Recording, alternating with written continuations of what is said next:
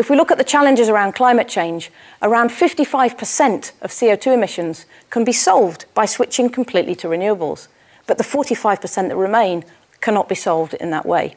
If we look at circular principles and apply those three principles to materials such as steel, cement, plastic, food, and aluminium, we find that of that 45% that remains, around half can be saved. That's the equivalent of taking all global transport off the road and out of the air.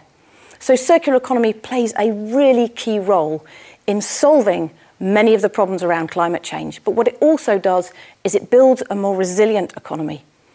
It solves some of the problems around brittle supply chains because we're less dependent on those raw materials brought across the earth to make those products.